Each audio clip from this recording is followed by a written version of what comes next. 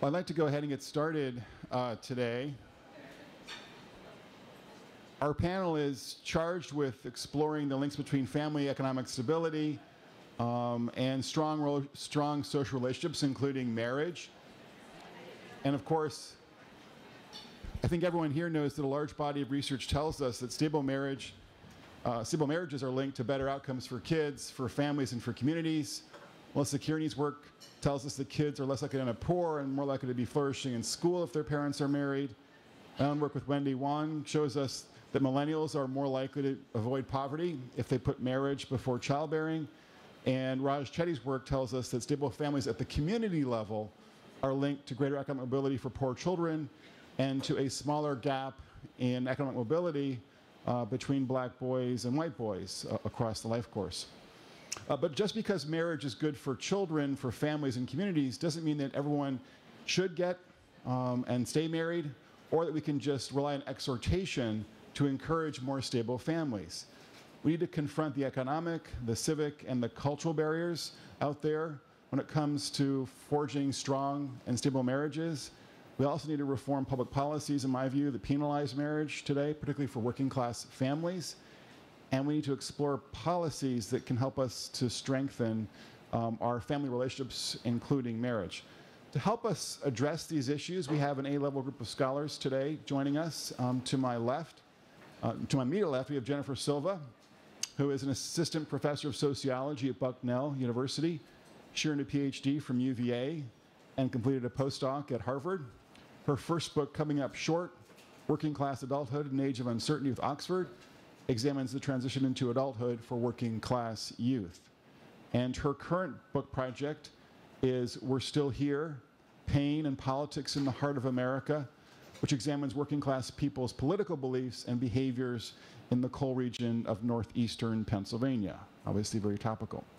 Uh, and then Scott Winship, uh, just further down the table here, has been recognized as a leading economics researcher on poverty, inequality, and economic mobility, and has testified multiple times up on Capitol Hill. He currently directs the Social Capital Project for Senator Mike Lee in the Joint Economics Committee of Congress.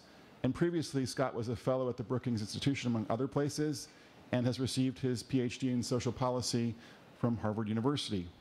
Haydar Kurban, to my far left, is a professor in economics at Harvard University, sorry, Howard University, with interests in urban and regional economics, in local education redistribution, and in the economics of disasters. He is the co-author, among many other publications, of a permanent jobs program for the U.S., economic restructuring to meet human needs, and he holds a PhD in economics from the University of Illinois at Chicago. So with that, I'm going to turn over the, the podium here um, to Professor Silva.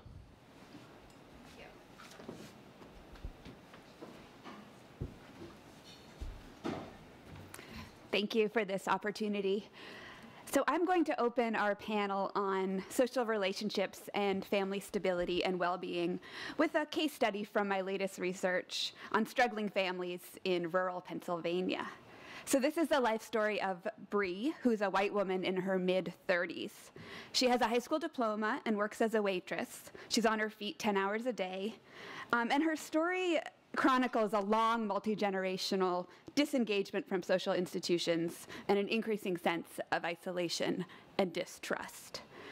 Bree's grandfather was a coal miner, her mom a waitress, died of lung cancer at 53, and her father has never been part of her life. So Bree has been married and divorced twice.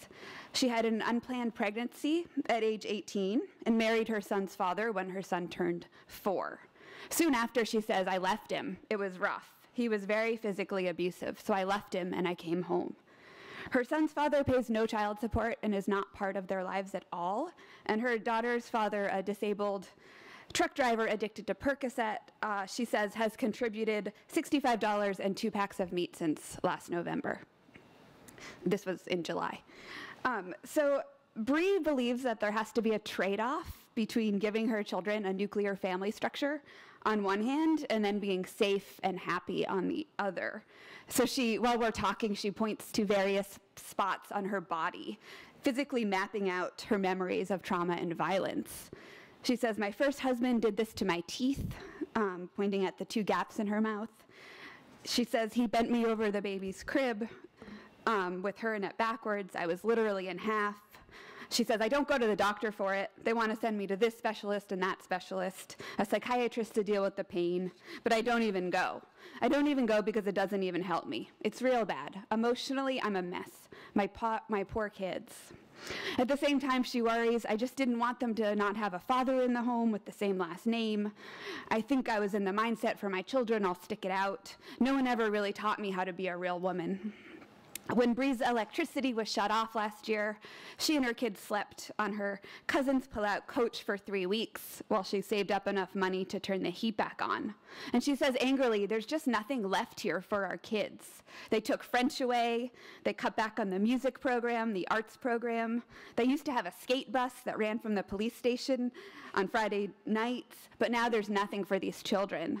And she denounces the lack of mobility for struggling families. She says you just don't keep poor people under your boot and leave them there and throw them scraps. You need to lift them up, teach them things, educate them, get them to work or something. You're killing me. So chronic anxiety and a racking cough from 20 years of Newport menthols keeps Bree up late into the night. She says, I always have a bad feeling something awful is coming, plaguing my soul. But she staunchly also refuses to see a doctor. She says, I'm so afraid of what he'll say to me. I know it's not going to be good, so I'm putting it off. The local doctor's the one who diagnosed my mom with the flu when she had lung cancer. That's why they didn't know she had cancer till she was stage three, because he was like, here's a Z-Pak. It's an open secret in this area that a prescription for Percocet costs $50 in cash. And if the doctor who Bree calls the biggest drug dealer in the county knows your family, you can just call in your request over the phone. Um, and Bree has slowly stopped attending church and other kinds of social engagements. Um, she says, My church is closed soon because there's no people left. Nobody takes their kids there anymore. She says everyone got older, the kids moved away, people died, and now I would say we get 15 people on a good day. And she takes for granted the extreme fragility of community and family bonds. She tells me last night I posted on Facebook, trust no one ever. My mother sat me down at the age of eight, said, trust no man, don't trust your family. The only person you can trust is me. Don't trust your father. Never trust anybody, ever, ever, ever. And she was right. So the political scientist uh, Robert Putnam in Bowling Alone demonstrated how Americans have become increasingly distrustful and disconnected from each other over the last um, third of the 20th century. And central to his thesis is the idea of social capital, which is defined as connections among individuals, uh, social networks, norms of reciprocity and trustworthiness that arise from them.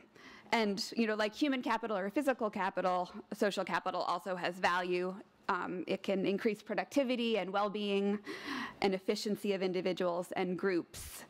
And Putnam argues that social capital enables information flows, norms of reciprocity and mutual aid, and also collective action by fostering a sense of a broader we.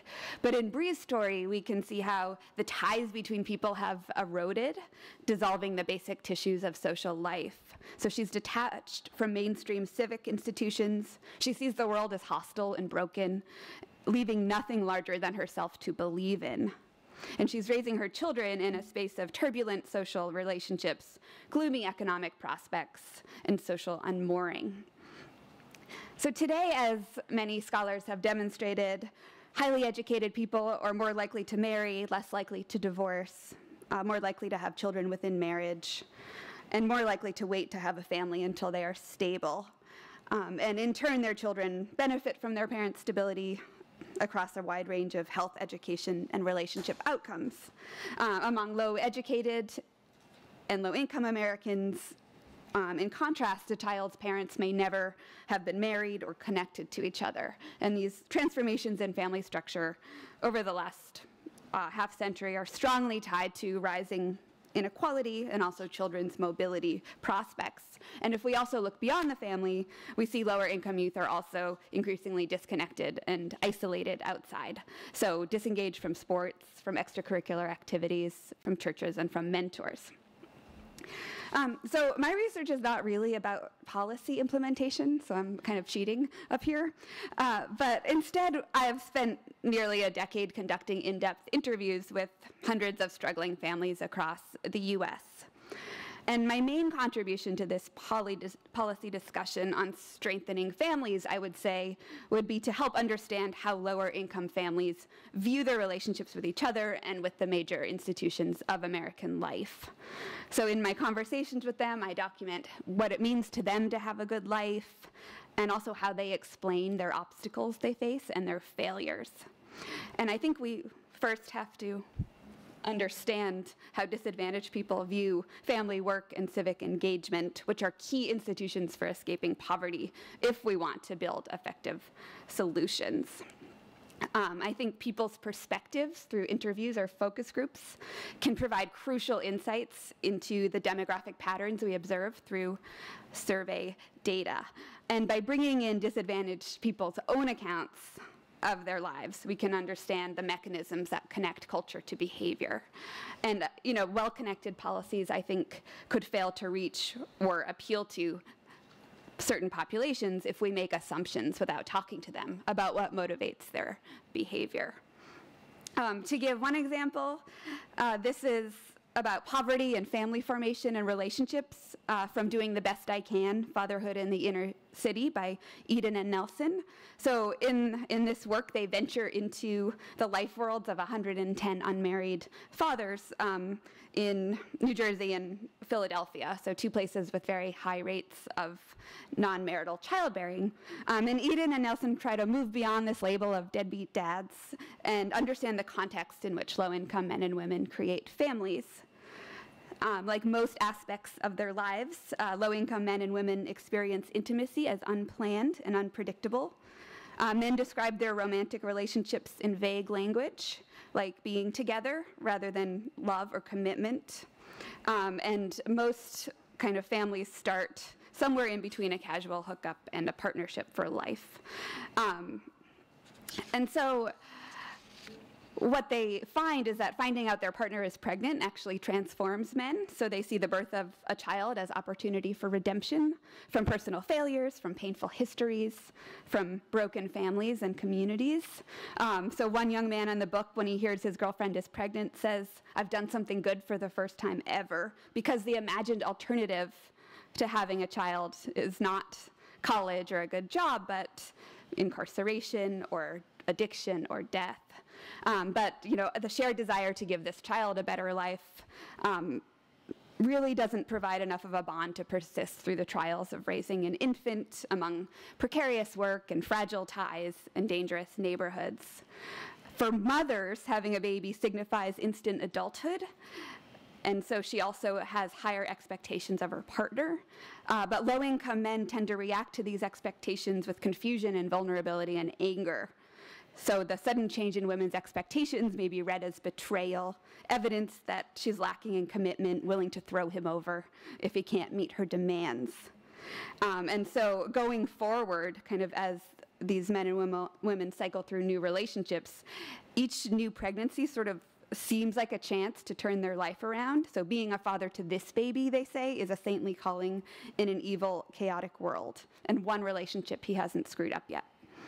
And the larger community, which maybe a few decades ago would have demanded marriage or commitment, I think can intensify the distrust and betrayal, right? So warning people against getting married um, or seeing marriage as a trap. Um, in my own fieldwork, I've recently talked to low-income women who are raising children alone, um, and they have told me that getting legally married would make them worse off or actually jinx what little stability they had. So one uh, younger woman told me, I'm waiting till I'm ready. I'm not ready to have someone else's last name. I mean, I love him, but the way I see it, it's like, why do that? Waste money on buying dresses and buying all this stuff if it's not going to work out. And another woman told me, I've seen so many marriages fail. I will never ever, no matter what. I could be madly in love, but I would never. And I feel like it's all about money too. You pay so much to get married, and then you fight. And when the low income people in the coal region I interviewed talk about their larger community, they express fierce distrust and a sense that staying to themselves is necessary for survival. So, a 36 year old white man named Roger, who was out of work trying to get disability, told me, I very rarely trust anyone because every time I started trusting someone, something happened. He says, Stone Cold Steve Austin said it on wrestling, and he put it in three letters DTA, don't trust anyone. Uh, to provide another example, a Hispanic woman named Daniela, who is unmarried and raising three children, says, I may believe in God, but I believe we're on our own. I'm living for my children. I don't care what's going on in the world. If the world's going to end, it's going to end. We can't do nothing but stay to ourselves.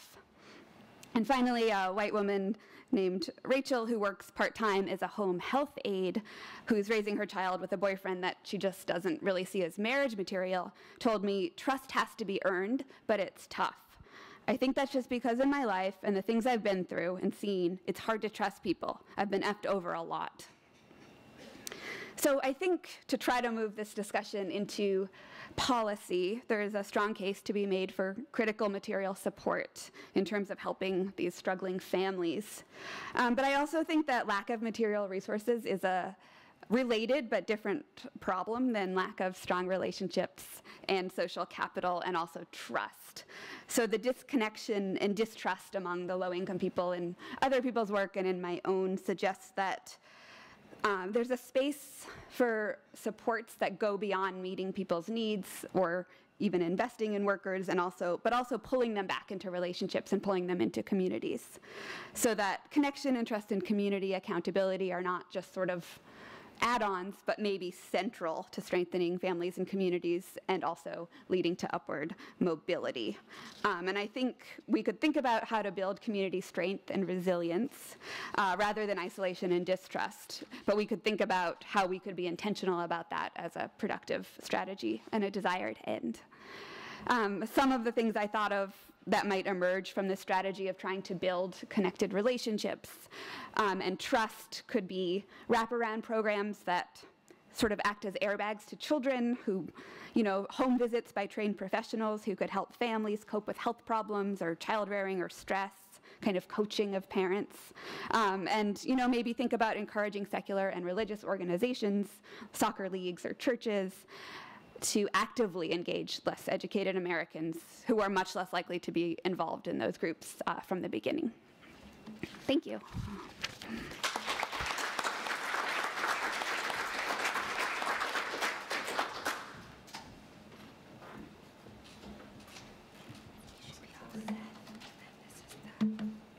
Great, thank you. Good morning, everyone.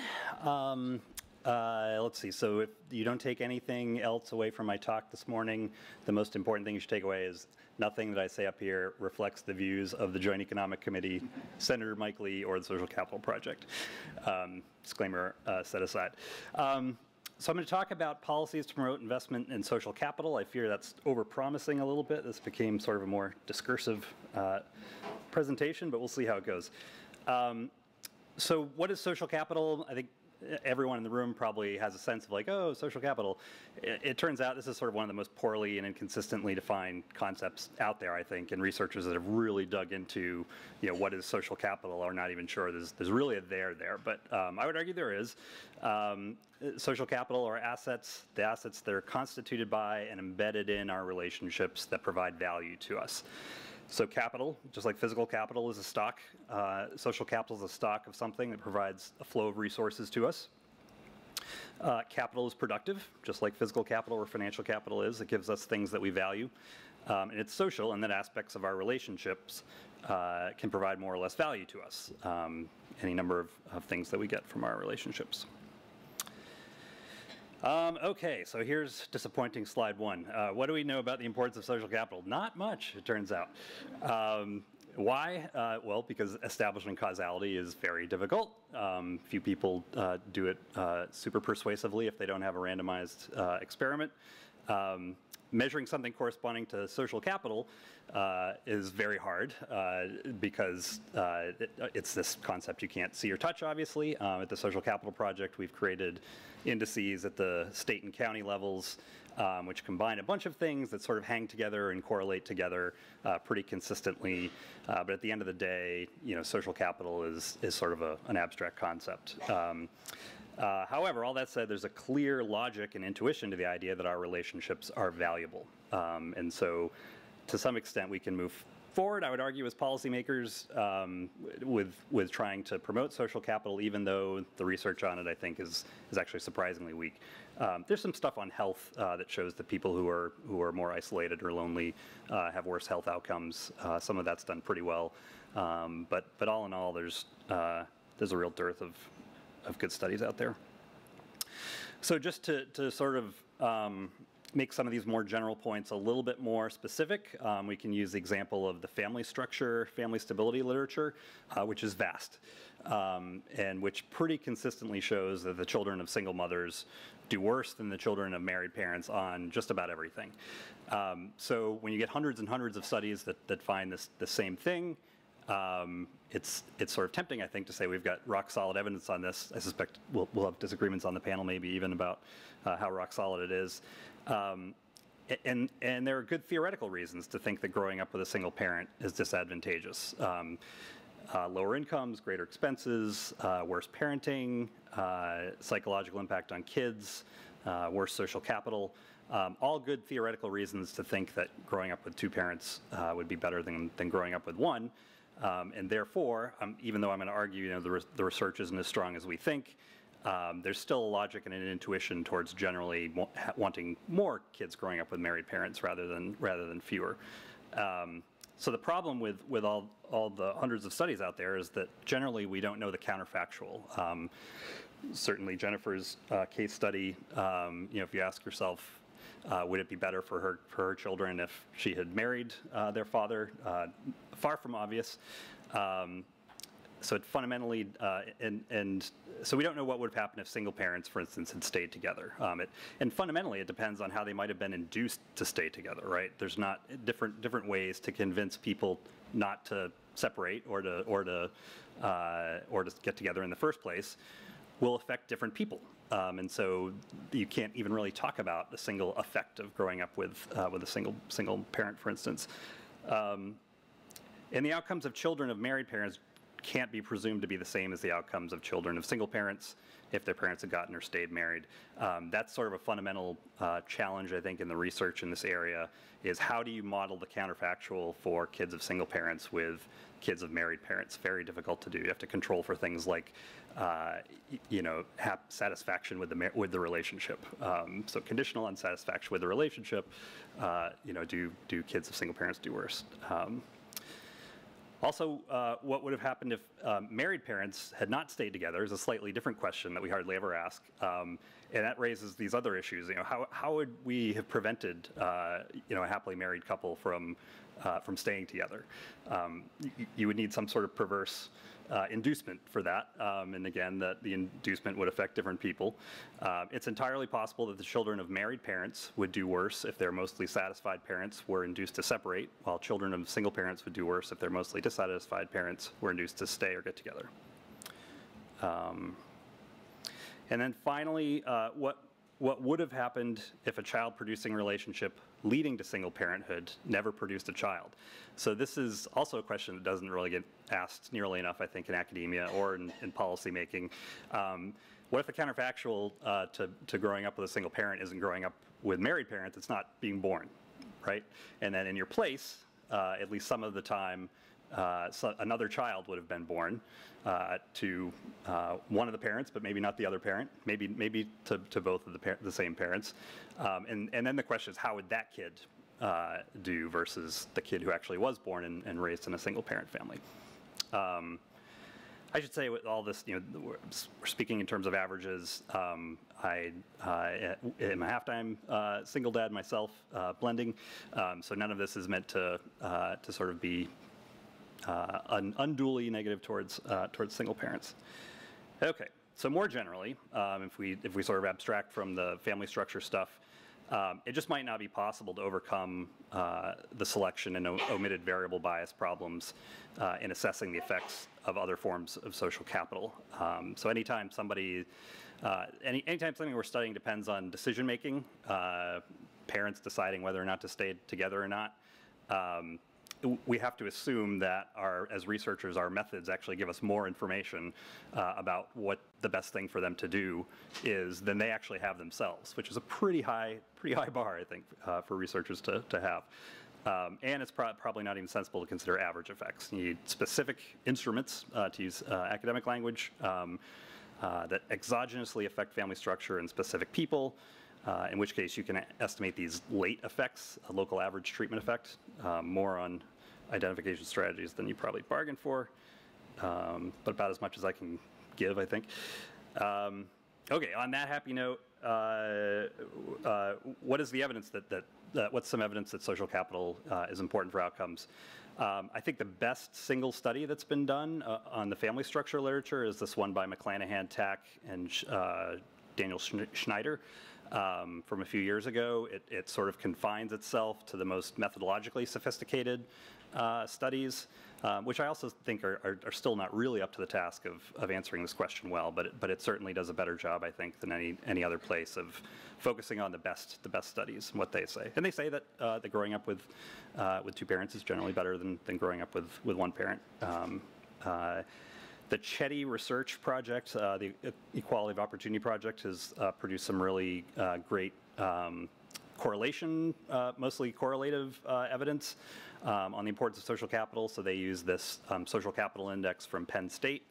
Um, and they show that that is very strongly related to their economic mobility measures. Um, Chetty, when he presents his stuff to, to general audiences, he sort of highlights five uh, things that he wants people to take away, and social capital is always one of the five that he talks about.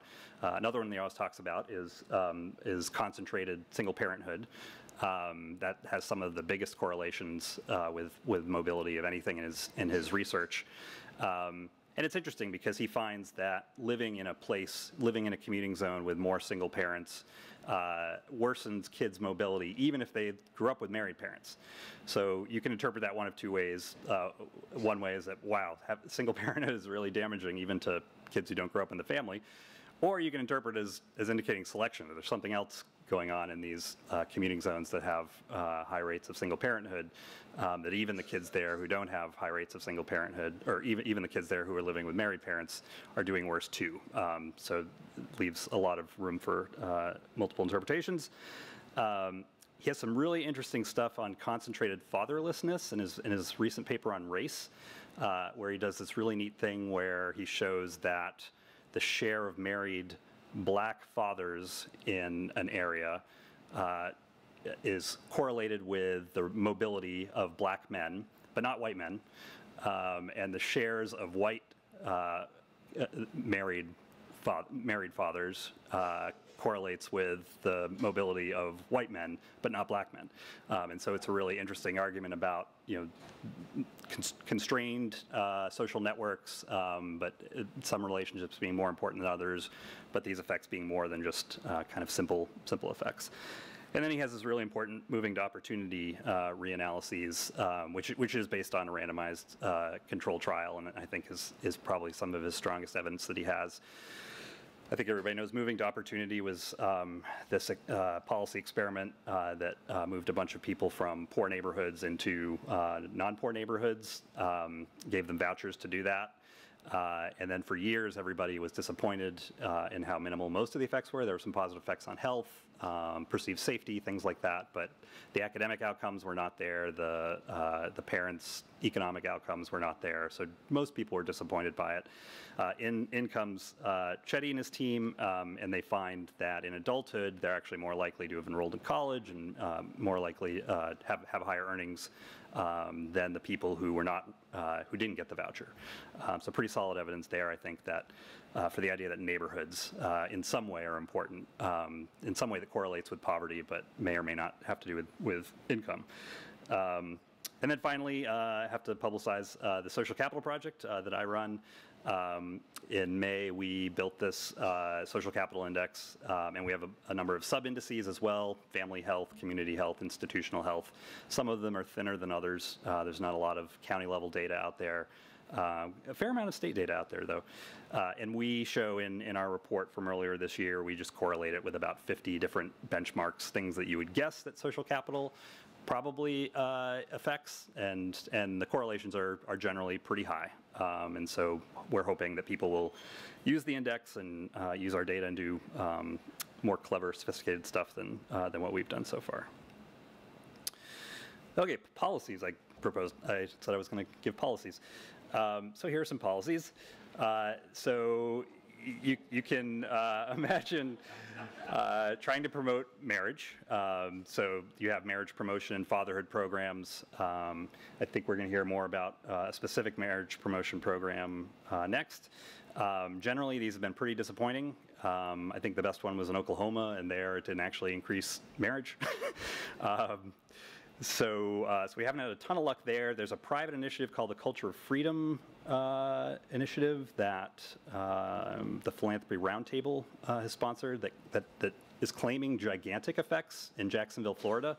Um, but I don't think they've published anything rigorous on it yet. Um, and I believe there's a military uh, program that actually has shown pretty solid effects. Um, but I don't know details on that. Uh, dealing with marriage disincentives and tax and transfer programs, I think, would be uh, a, a, real key uh, policy change that we could pursue. It's expensive because uh, you're you're paying instead of just instead of uh, you're inducing people to stick together because they're going to both get benefits, um, whereas right now there's a penalty and their their benefits get reduced if they if they stay together. Um, you could do marriage incentives. So I've proposed something, um, uh, an expansion of the child tax credit. Um, so it would not reduce uh, the child tax credit for uh, kids of single parents, but it would expand it quite a bit for the kids of married parents.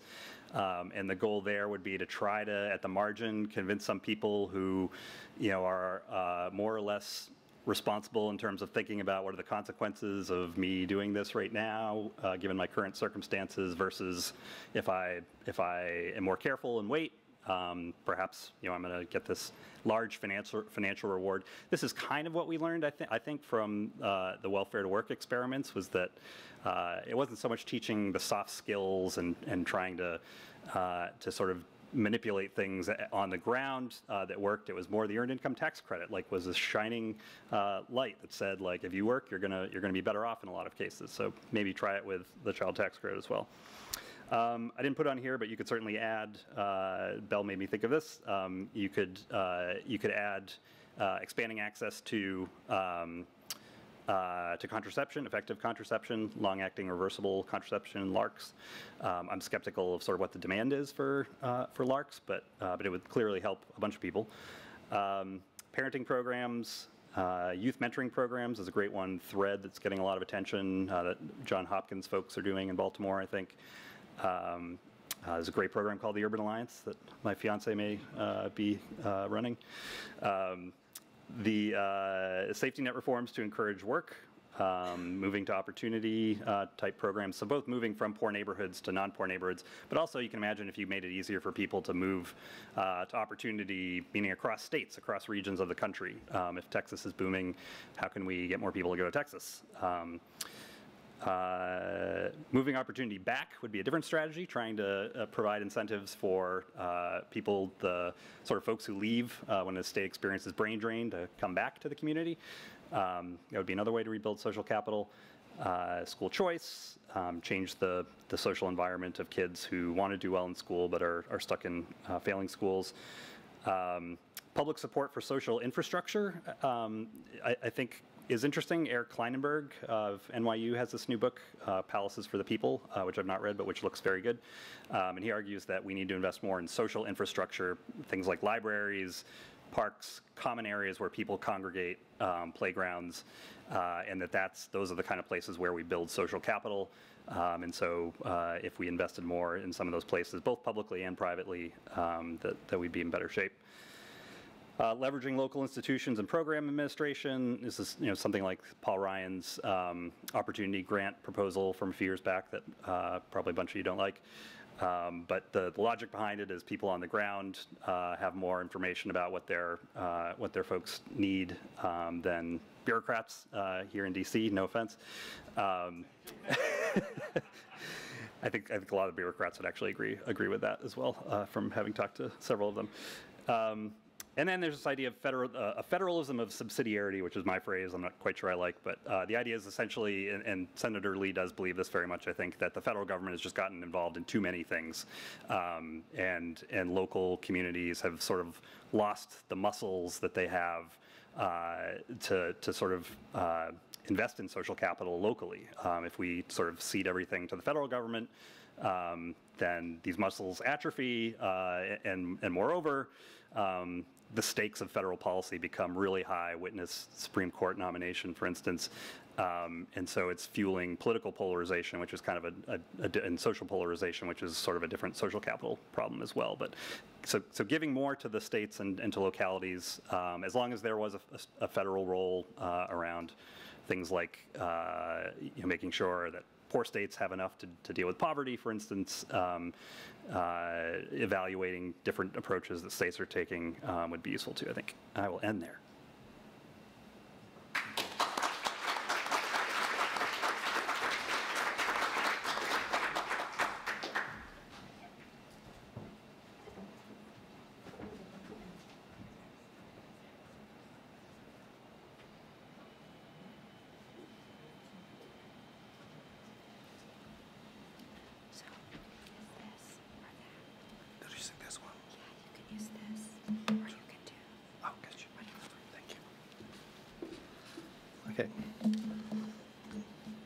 Hi, uh, my name is Haydar Kurban. I'm from Howard University. So today I'm going to talk about uh, a project that we have been doing with my, some of my co-authors. Um, Benoit Schmutz is in Paris now. He moved to uh, Europe. And Rodney Green uh, from Howard, who is retired now, I guess, and I'm the only one left here, but we're still working on this project. This project was interesting because it's, it's data. The data is very interesting because they're randomized experiments. And, and we are kind of revisiting this, this, this, this data that you know, sociologists and other social scientists, they worked a lot. And, and we feel like um, you, know, it's, uh, you can learn a lot about the participants and what they think about you know, relationships, marriages. Uh, so, um, but we kind of take a different uh, take on this. So uh, these are everybody probably in this room, you know, they're familiar with these data sets, uh, building strong families, and, and supporting a healthy marriage. Uh, we're working on two, two both, both, both data sets, but, but today I'm going to mostly talk about the building strong families and, and, and what we found, what is their impacts. So the, you know, their goals were to improve quality and durability of the relationship between you know, future parent, parents. The parents in the BSF family, they are not married, so that's kind of you know, the good one. And then you can kind of see that, you know, whether they're going to marry or not at the end of it. So these are random, randomized experiments. Uh, the design allowed researchers to assess, you know, the program's impacts. Uh, there's a 15 months and longer, so you can kind of look at that. Um, so overall, what the literature found is that you know, this program did not have much significant quantitative impacts on, uh, on, on, relationship and education outcomes. So for, for, the, for them, for their kids. so, so the reason for that was uh, because of the data issue and because of the methods that the researchers they used. Usually, they kind of uh, construct these uh, indices of marriage stability or something else. That is basic. What you do is that you look at the answers to many questions and you construct this index and you call it, you know, marriage stability or, or something else. But the problem is that um, it kind of magnifies data problems because if you know let's say 10% of the you know participants did not respond you know 10 of those questions at the end you are going to have a huge problem. Uh, and then that's what they do is that you know the researchers mostly they do imputations which has its own problems because you're kind of you know you're a little bit you know you're losing the the accuracy of the data and there's a huge, huge problem. So what we did is that we want to see what were the experiences of you know, the participants. And we just focused on four questions. So remember that the data, you know, the study uh, first you know, gets uh, applicants and then randomly you know, put them in treatment group and the control group. So, and then before, in the, basis, in the Bayes model, before they participate, they ask them, are you married? And then at the end of the program, are you, are you married? So, so then we can see you know, how the marriage changed. And they had the similar questions, you know, were, are you romantically involved on a steady basis? So we, this is, we call it relationship quality. And, and then there's another question, uh, strongly agree that it's better for a couple to be married and to just live together. So this kind of um, va value about marriage or relationship.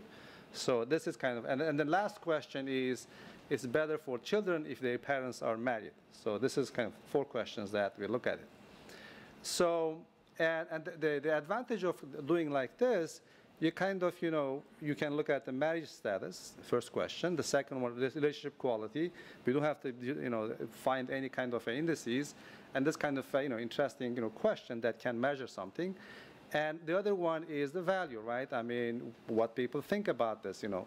Because remember, we asked them, the, in, they asked the questions initially and after the program, so we can see what changed. And then the, the, the number four is belief.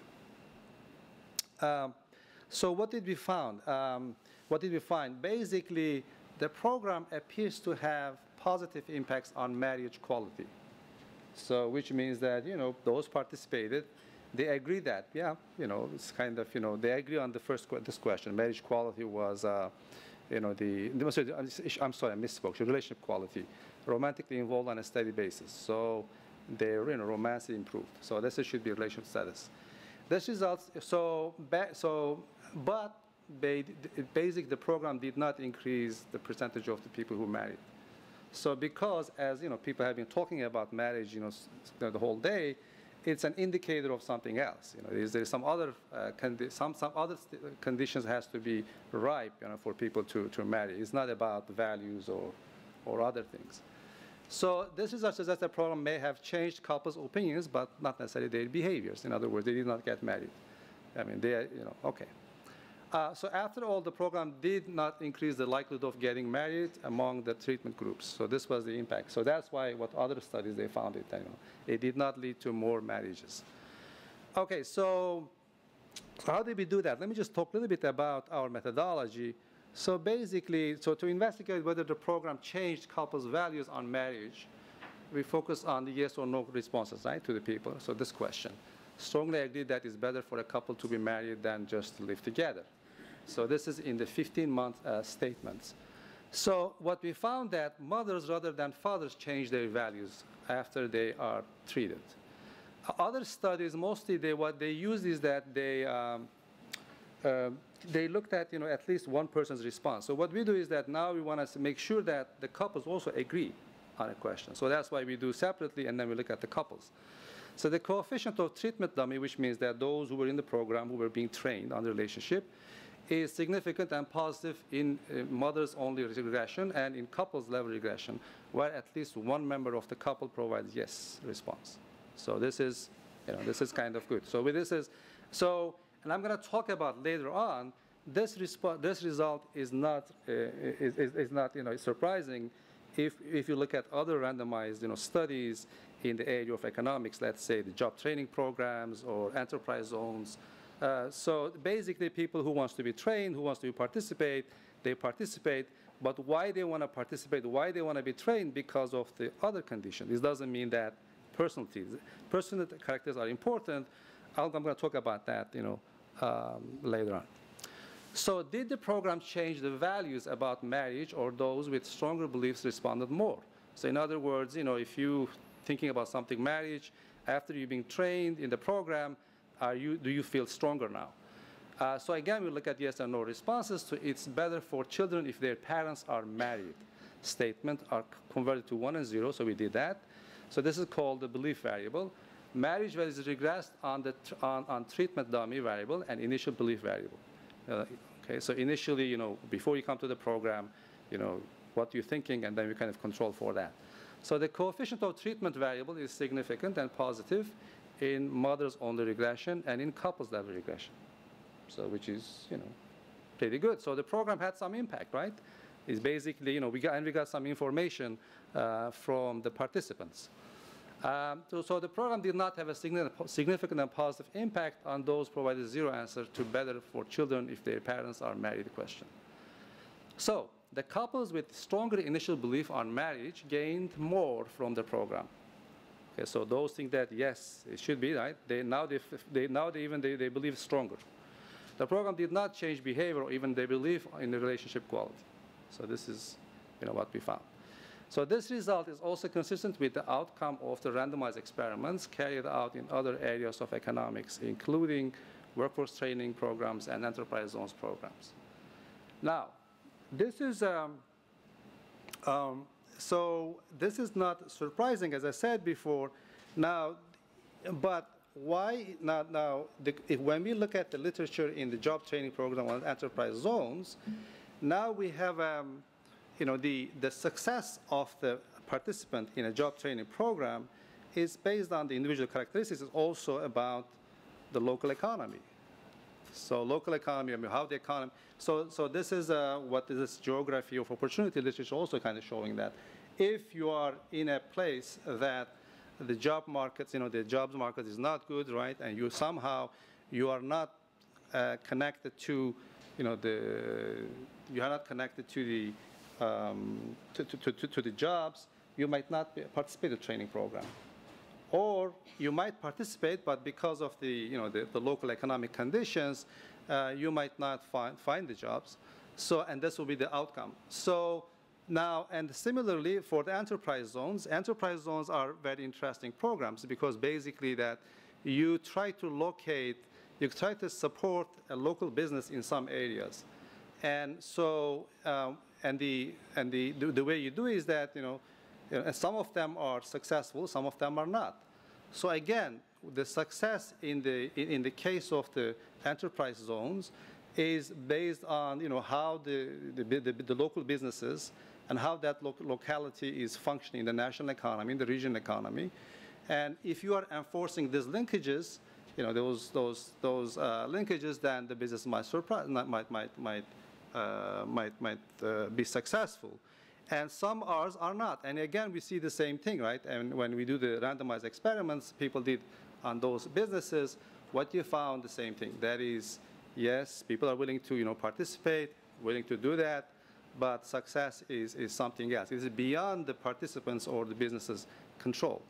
Uh, but for the, uh, now the, since the success depend, depends on, on, on, on, on the forces that beyond individuals, you know, uh, uh, control, uh, we have some, some, some indicators in the economy, right, that we can see how the businesses are doing. The businesses are, are, are, linked together through the you know, buying and supplying. In the GDP accounting, we can you know, measure which business is buying from what, so we can kind of measure those relationships. And those relationships, and there are indicators about how the consumers you know, feel about the economy, how the businesses are doing. But we do not have any indicator, anything like this on the relationship. We just have these programs, right? They just say that, you know, you just do something about people. But how, as what, you know, as Jennifer was saying that about talking about this, you know, uh, you know, uh, uh, in this, uh, single mom, uh, mothers and their experiences, how they are doing as the economy changes.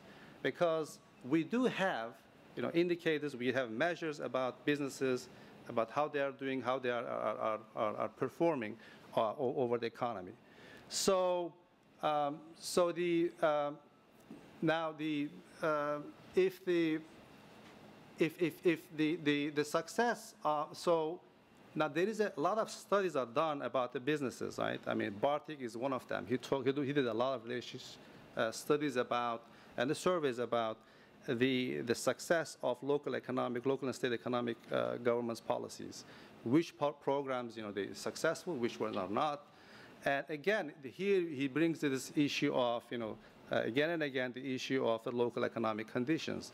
in other words, the geography, the access to jobs, and access to, you know, transportation, access to, you know, other things, right? And these are, and since the regions are different, economies are different, and uh, having a, just a similar programs across the states, across the places might not be successful. Um, similarly, uh, I would like to talk about, you know, about my own research that we did um, uh, uh with Joe Persky and, and, and, Ryan Gallagher in Chicago about the Chicago schools. So we, we measured the extent of the size of the, the redistribution that is going on in, in, in, in the, in, in the local school distribution the districts. So we focused on the Chicago suburbs. And in, three uh, publications that we made, successfully we found this. There is a redistribution going on within the local uh, jurisdictions. And we measured that. The size is huge. In Chicago, it was like $3.2 billion.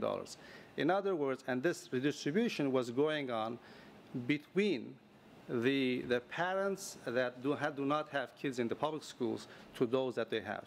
In Chicago suburbs, about one third of the only one third of the parents, you know, they have kids in the Chicago schools. So, so which and and if if we kind of either way we talk think about this problem at the federal, local, or state levels, there is a redistribution going on, and so the question is that uh, to, from whom to whom.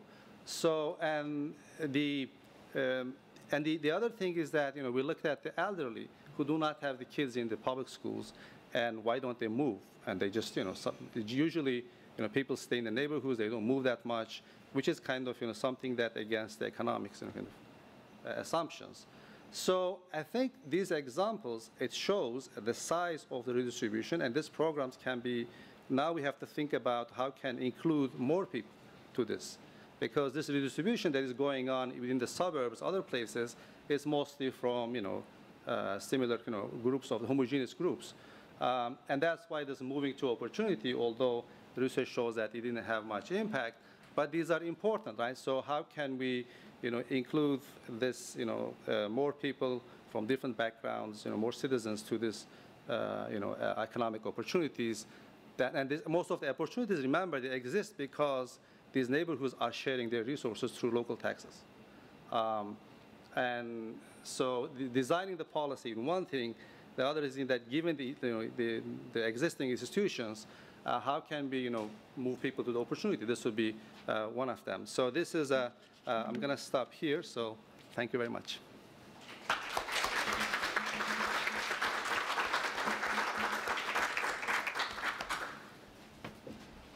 Stay there and do the Q and A from there.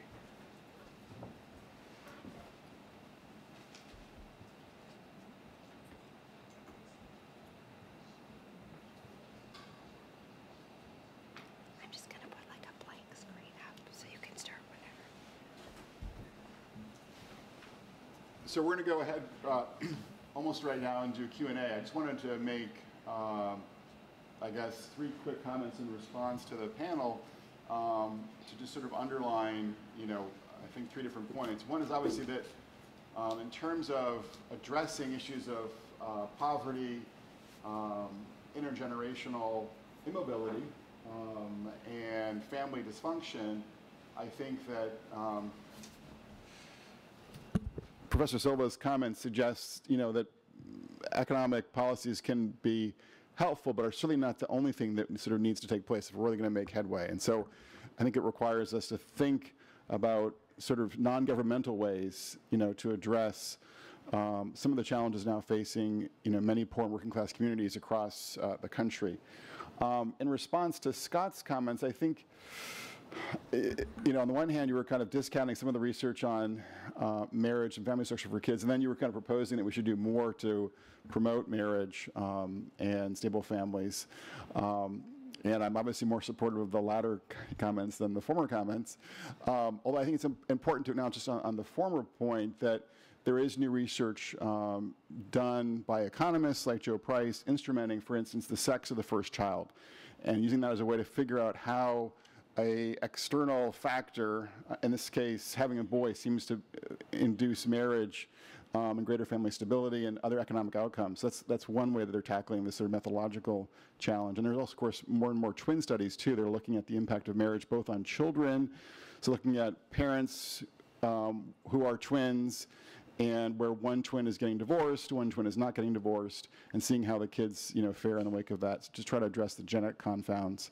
Um, so there's uh, there's more and more research I think that might meet your methodological bar, you know, to sort of back up the, the, the second half of your um, comments.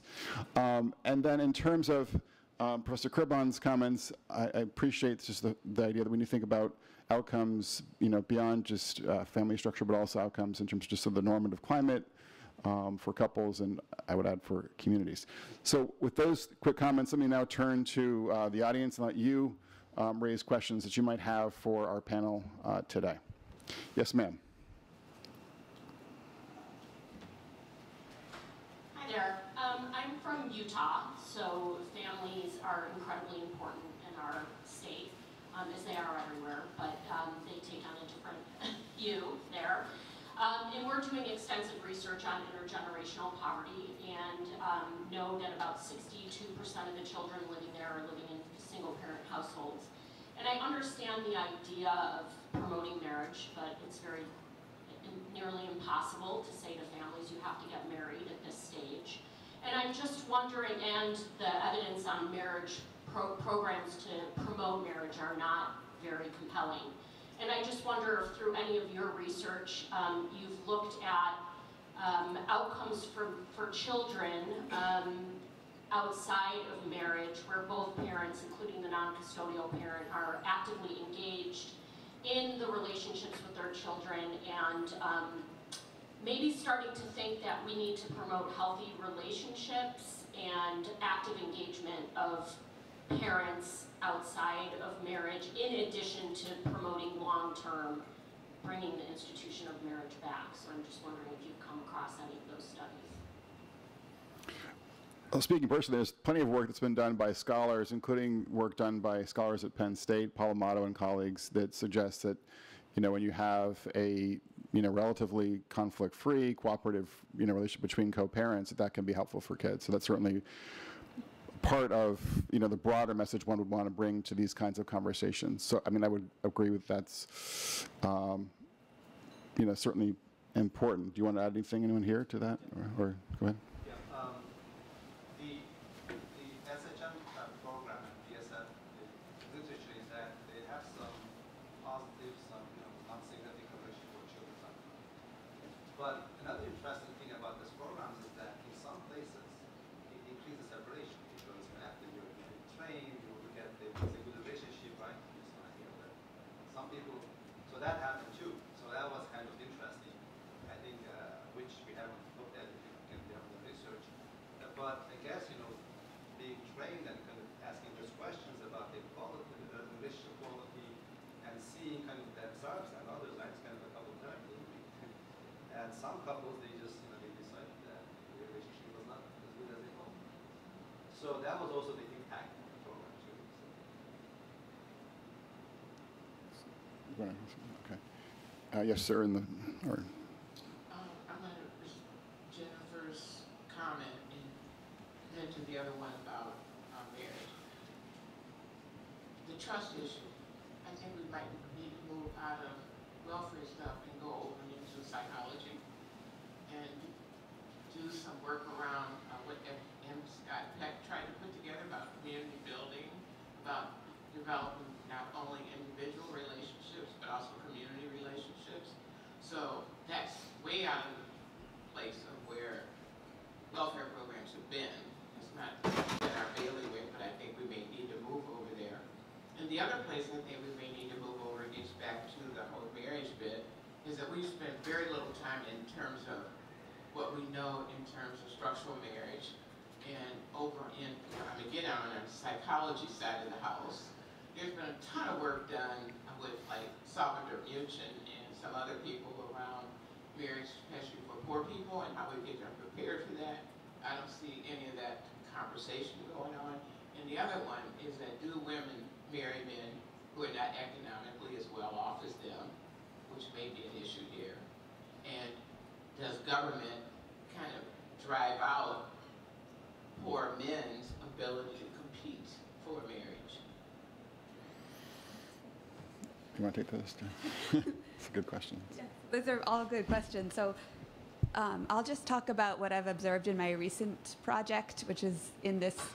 It's in a declining coal region, and in in this area, um, the jobs actually started to go away post World War II, so kind of earlier than like other kind of working class and poor communities were hit. And if and it, when I read, for example, testimonies of people who lived through this, they one of the things they talk about is how losing a job, the men would lose their coal mining jobs, and then the women went to work in the garment factories. And men would testify that it was degrading to them and demeaning to them, um, that they weren't the ones working. And then it actually dovetailed with increasing suicide and alcoholism. Um, and then as people started out migrating, then um, the, there were 12 churches in this area and it was condensed to two. And so I think it is psychological and structural at the same time, like working back. But I, I do think that in terms of fixing the problem, you would have to focus also on restoring trust. And the only places I've seen that in my research would be at actually like support groups for people struggling with family members with addiction. And that was one of the only places where people actually shared their suffering with each other and then actually helped point each other to services that could help them. And I thought that was a really interesting way where it was extremely local because the distrust of government is so high and that the only people they would trust are people they're kind of sharing things with. Um, Yeah, in the front. here, Bill. Uh, Hi, uh, Jennifer, you talked, I- uh, by the way, I thought all the stuff about social capital and trust was just terrific. We really need to talk about all of that more. Uh, But I also wanted to specifically note, so this won't surprise people who know me, uh, you talked about all the unplanned pregnancies and the multiple relationships that you were encountering. And I don't know how many people know how high unplanned pregnancy rates are in this country. They're, you know, they're, they're the majority. And so we now have experiments, and I say this partly for the practitioners who are here, in Colorado, uh, I mean, they're randomized controlled trials, but I mean, they're demonstrations uh, in real-world settings, uh, where, by the way, Scott, women are coming out in droves to get the services. Uh, In Colorado, and Delaware, and there's some new work in Utah as well now, Salt Lake City, showing that when women are offered effective forms of contraception, which means long-acting typically, um, rates of unplanned pregnancy plummet and I would argue relationships improve and marriages are more likely to be uh, sustained. Uh, We have done some work with a simulation model that suggests that over a 10-year period, uh, if you could reduce even about a quarter of these unplanned pregnancies, you could reduce the U.S. poverty rate uh, amongst uh, children by about two percentage points and save government money at the same time.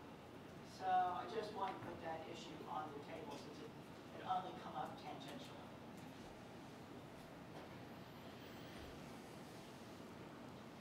Hi, my question is for Jennifer. Um, Your book is very intriguing, and I can't wait to finish it. But as a practitioner, um, first I want to thank you for mentioning family and domestic violence as a factor in economic stability. It it truly is. Um, The thing that I've liked about your book so far is the economic unstable profile what it looks like, it, it's challenging us as practitioners. We, we think we've assumed a certain um, profile, and that's not necessarily what is facing us as practitioners. So you mentioned when developing policies, if we make these assumptions about this group, we can develop these great policies and these great programs, but they may go underutilized. Have you noticed any trends about the assumptions that practitioners are making about particular groups or, um, other than they're not who you necessarily might have thought that the economic, um, are facing economic instability are? Did you notice anything? You may mention it in your book and I haven't finished it. Um, yeah, my work often stops right before I get to real policy. I'll be honest, I get overwhelmed by all the problems. Um, but I mean, one thing that I have found is that um, most of the poor and working class people I've talked to over the last three years are extremely critical of inequality and they're really critical of government and politicians who they think did not protect them from sort of vulnerability and um, don't necessarily want assistance, but they certainly want investment in their families, and they actually um, think that that's a duty of the government. So that was interesting to me, just like how critical they were of our institutions. Um, and I think willing to listen to people who had um, suggestions for change. So what would they consider the system? What would investment? I'm sorry? What would they consider as the system? What would they consider as investment? Um, work training or education. Um, like they wanted people to invest in them, um, restoring the ability to have a good job. And just as a side note, both Belle Sawhill's new book and Oren Cass's new book are making kind of a similar argument, and that is that we focus so much on kind of the on providing support to poor and vulnerable people, but in reality, there's a real push on their uh, from their perspective to look more towards education and work. They don't want to be dependent; they want to be independent, but they need some, you know, policies to do that for them. But next question. Uh, the person next to me said uh, a bunch of what I was going to say, but I, there was one other thing I did want to add. I wanted to praise Scott for bringing up what I would call heterogeneous treatment effects, to use academic jargon. Basically, the idea that particular behaviors or choices may have very different effects for different people. And I think marriage is exactly an example of this, that mar- marriage not only has heterogeneous treatment effects, I think it's a very heterogeneous treatment. That's why it has heterogeneous treatment effect. And we heard from Jennifer about some of that heterogeneity in the nature of marriages. And, you know, it doesn't take fancy identification strategies to correctly interpret evidence that we get out of studies.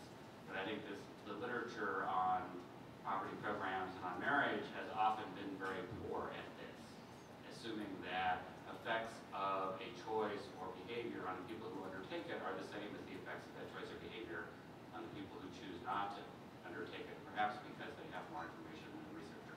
So I just wanted to praise that and also raise the general idea, because we have got practitioners here too, that researchers need to be very careful and very circumspect in interpreting what they do correctly so that it will not be misinterpreted by the research consumers. That was definitely the best question. Yes, Mark. Thanks. I wanted to come back to something that was hinted at at the very first question and push the panel a little bit. I, I think these discussions of policies around marriage always remind me of uh, when I was a young assistant professor at Yale, one of my senior colleagues was mentoring me and said to me, you know, as far as getting tenure, Anne, we think you're doing really great. You just need to publish more articles in the American Economic Review.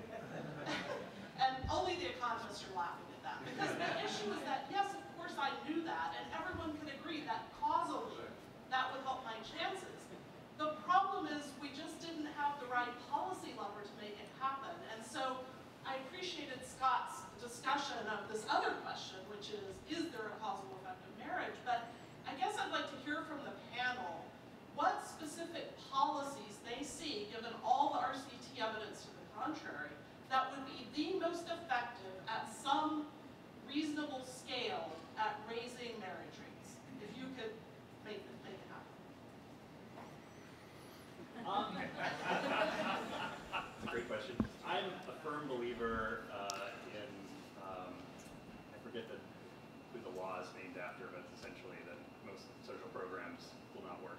Um, I think it's a Kennedy School guy. I don't remember. Anyway. Rossi.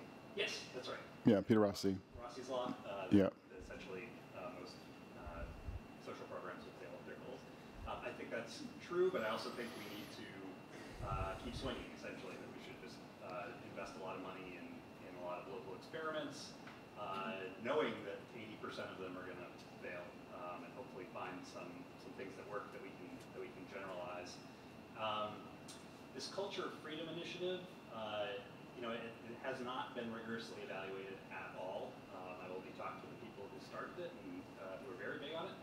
Um, but they have a theory that the reason that the marriage promotion programs didn't work, that were in the welfare reform reauthorization uh, in 02, um, was that essentially religious institutions were sort of, it was almost impossible for them to really uh, I guess use the strategies so this Culture of Freedom initiative is, really church-based, sort of your fellow congregants saying like, hey, there's, a, this great uh, discussion group that meets on Sunday, like, why don't you come, there's cookies, and then like, you suck somebody in, and they're like, you're coming back next week, right? And, um, it's sort of a, it's, it's a theory about, um, I guess, familiarity and trust in local institutions, I guess. There could be nothing to that. um, but that's, that's sort of one thing that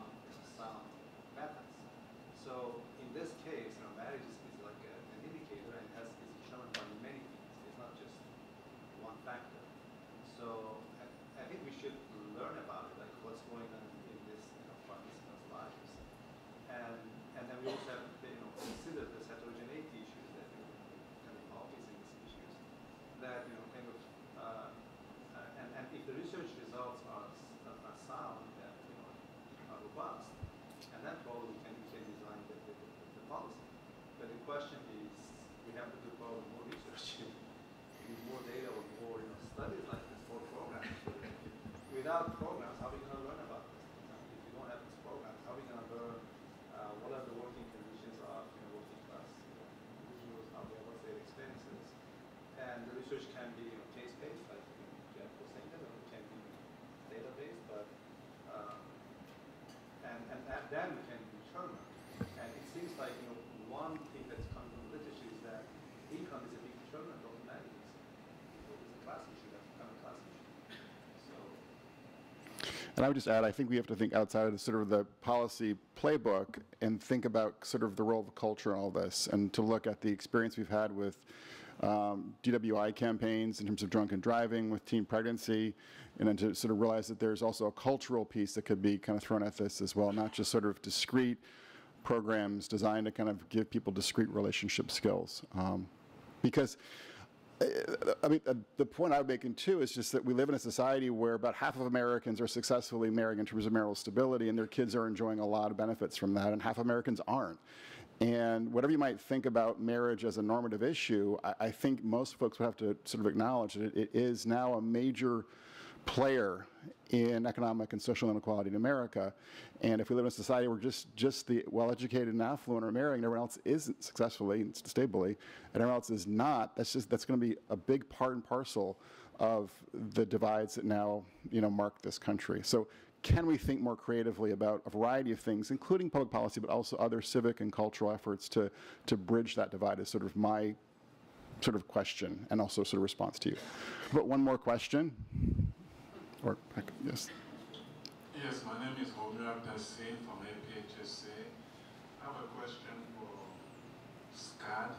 So based on your research, you know, on marriages and family economic mobility, I was wondering if you ever control for the length of the marriage or the sexual orientation you know, of the participant.